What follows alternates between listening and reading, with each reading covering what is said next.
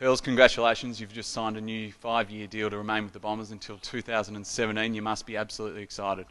Yeah, over the moon to have signed uh, before the start of the season.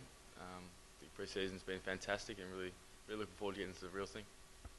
Of course, it must have been a big decision for you. Um, what was it in the end that made you want to stay with Essendon?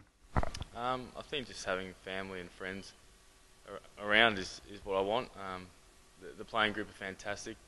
Um, family clo- close to the club and also the coaching staff have been great to me and I think that the club's been fantastic for me and I think I owed it to them to, to hang around. In terms of the expansion of the AFL, the Gold Coast and Greater Western Sydney, they would have shown some interest in you. Was there any interest from you to potentially go there? No, well, not particularly. As I said, I've got family, friends, um, and a fantastic footy club. Um, I had no real interest in moving, and I'm, I'm, really happy to stay. With yourself and Jake Melksham and David Zaharakis and Dyson Heppell all signing on in the last year, um, it's fantastic signs for the club with these emerging players coming through. Yeah, well, the club does have some, some really exciting young players, and it's great to, to have them signed up and, and ready to go for the next few years. I think with the group we've got, I think we can do some exciting things in, in the years to come. And in terms of uh, Essendon supporters who haven't yet signed up as members, you've signed on for the next five years. What's your message to those supporters who are watching this?